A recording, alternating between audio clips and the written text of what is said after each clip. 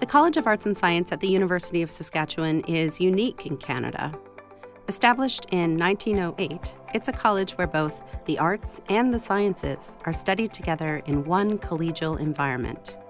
This unique environment encourages students, researchers, and faculty to make connections between and beyond their own areas of interest and expertise. Our interdisciplinary collaborations, world renowned research, award winning teaching, and diverse student body are what makes arts and science home to so many around the world. With roughly 10,000 students currently enrolled, the college offers a vast array of programs in the sciences, social sciences, humanities, and the fine and performing arts.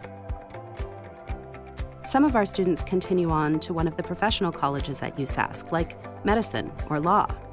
Some pursue graduate level degrees in areas related to their undergraduate major.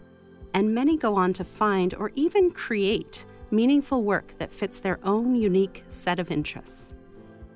Our students are encouraged to complete coursework in a range of different areas of interest. Our graduates, therefore, tend to be well rounded people who are highly skilled in critical thinking and creative problem solving.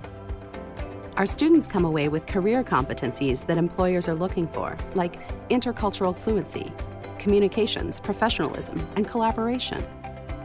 They also come away from their studies with a deeper understanding of who they are and what most interests them in life. As a community, our college ignites a sense of pride.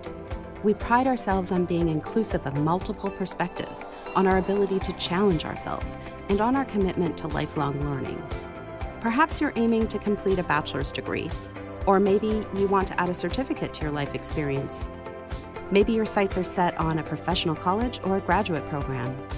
In any case, we hope you'll have a look in more depth at the various programs and certificates we offer in the next chapter of this series about the College of Arts and Science.